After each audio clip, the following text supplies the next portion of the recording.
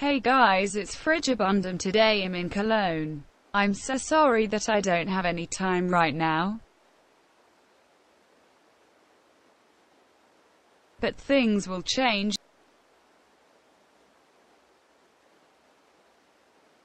And I just want to show you that I'm still alive. Now I'm on the other side. It's just beautiful. The weather is great. Look at it. But yeah, I think that this is everything for today. Bye bye.